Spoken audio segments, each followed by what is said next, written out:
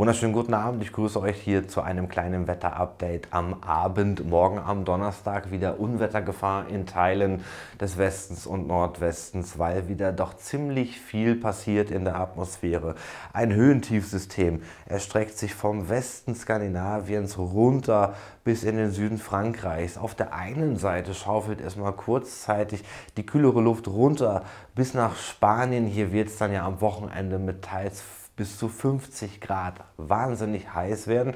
Jetzt erstmal morgen noch einigermaßen kühl. Auf der anderen Seite, genau zwischen Deutschland und dieser Hochdruckzone, wo es ja jetzt so heiß ist im Moment, Dort kommt dann eben diese Schauer- und Gewitterzone rein in dieser mäßig warmen, aber doch recht schwülen Luft dann morgen am Donnerstag. Und das bedeutet nicht nur Schauer und Gewitter, sondern wieder Unwettergefahr, teils auch ergiebiger Starkregen. Heute Nacht erstmal noch alles ruhig in Niedersachsen. Wir haben es teils mit kompakteren Wolken zu tun, vor allem so vom Göttinger Raum über Hannover bis zur Heide rüber nach Nordwesten hin und vor allem auch Richtung Küste. Längere Zeit mal aufgelockert, das Ganze bei Temperaturen von 13 bis 16 Grad im Schnitt, also eine recht ruhige Nacht. Ähnlich sieht es dann auch in Nordrhein-Westfalen aus.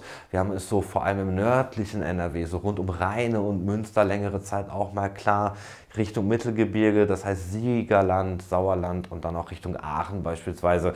Da kommen dann so Richtung Frühstunden schon die ersten kompakteren Wolken reingezogen. Auch hier Temperaturen relativ mild, vor allem so im Ruhrgebiet und auch Richtung Rheinland 15 bis 16 Grad, im Siegerland in einigen Tälern auch nur mal so 11 bis 12 Grad.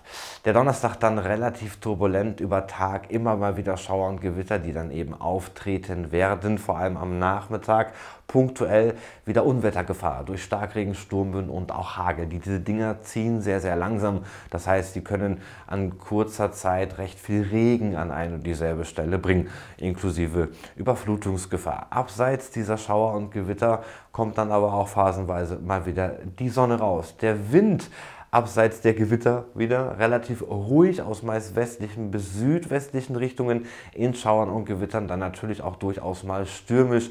Temperaturhöchstwerte liegen dann meist so bei 22 bis 24, im Sauerland auch mal nur so 19 Grad. Kurzer Blick auf Freitag und Samstag im Osten, dann vor allem so von Hamburg rüber bis in den Göttinger Raum, auch mal längere Zeit, dann mal kräftiger Regen, vor allem im Vormittagsverlauf. Das sind dann so diese verklusterten Reste der Gewitter eben Donnerstag. Von Westen wird es dann wieder zunehmend freundlicher. Hier kommen nur noch wenige Schauer ran.